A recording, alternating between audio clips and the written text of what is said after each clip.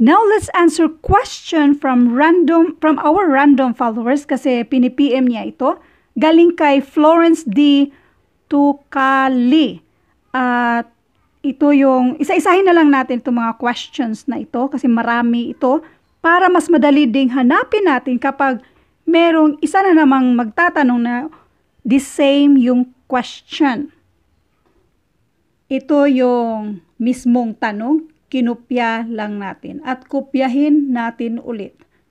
148 is 4 over 9 of what number? Kopyahin itong 148. Ang is equals yan siya. Kopyahin si 4 over 9 ang of multiplication. What number? Let n or x or kung anong variable ang gusto nyo. So, let n be that number.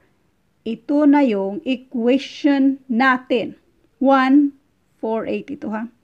Okay. Next. Solve na natin yan. Para ma-isolate si n dyan, since itong 4 over 9 pang multiply sa n, pang divide ngayon siya sa 148. 148 divided by 4 over 9 equals n. Ngayon, fraction yan siya. So, kopyahin si 148, ang division maging multiplication, reciprocal nito ay 9 over 4 equals n. Ngayon, para hindi tayo uh, mag-multiply ng mga malaking numbers, mas magandang gawin mo yan. 148 divided by 4. Mas madali kasi, and that is 37. Isa-isahin natin ha. Baka ako naman ang mali. 148 divided by 4. This is 3, 12, and this one is 28. 28 divided by 4 equals 7. So, this is 28 nga. So, 37 nga. Yang 37 na yan, i-multiply mo dito sa 9.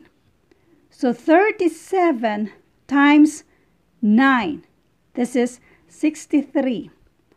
27 plus 6, and that is 33. So, ang sagot dito ay 333. Ngayon, kung naguguluhan kayo niyan, ganito ang gagawin natin. Okay.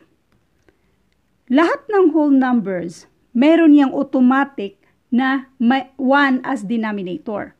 So, ang pag-multiply ay numerator to numerator, denominator to denominator.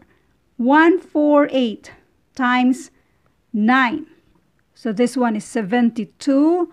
4 times 9 equals 36 plus 7 equals 43. 43, tapos carry 4. 1 times 9 equals 9 plus 4 equals 13. 1332 divided by 4. Kasi 1 times 4 equals 4. Yan yung pang-divide natin sa uh, numerator natin. This is 312 minus this is 1. Then 312, 13 minus 12 equals 1. Bring down mo yung 2. 12 divided by 4 equals 3. Kaya ang sagot dito ay 300 33. Pero no worries. Para sa marami pang mga examples na katulad nito, ilalagay ko sa description ng videong ito kasi meron na akong na-upload dati. Lalagay ko rin dito. I-search nyo or i-click nyo na lang yung, nasa dis- yung link na nasa description ng videong ito.